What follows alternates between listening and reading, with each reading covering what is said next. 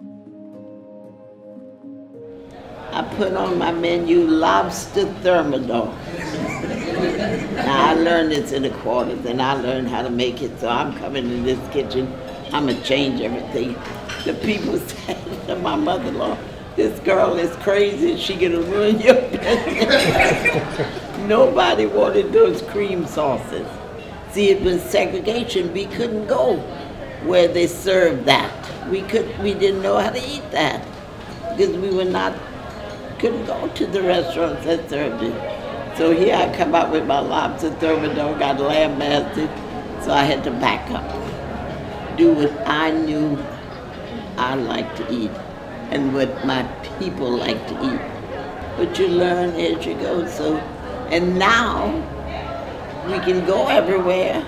I can serve lobster thermidor if I want because they've gone other places and they saw it and they learned to eat it.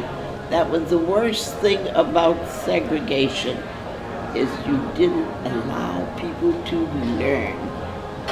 Look, if you let every black man learn, look what he could do. He could do a lot.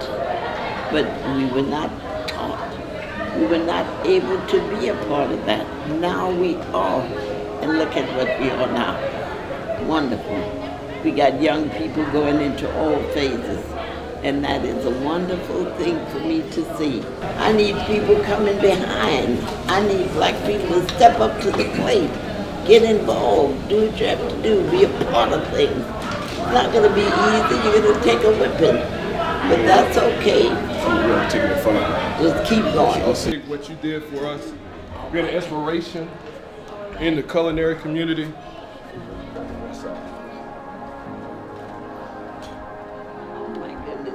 Oh my goodness. Oh, thank you so much.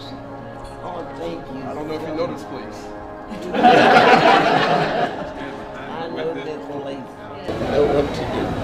So I'm proud of you. You don't know what this done to me to see all of these people. I never thought I'd see that. It is wonderful to see you interested in doing anything in this industry because it's an industry that we will need all the time.